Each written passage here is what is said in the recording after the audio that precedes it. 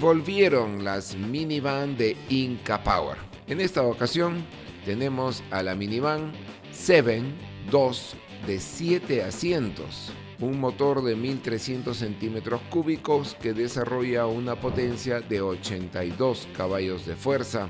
Cuenta con una transmisión mecánica de 6 velocidades, sistema de frenos hidráulicos, frenos de disco y tambor y cuenta con aire acondicionado.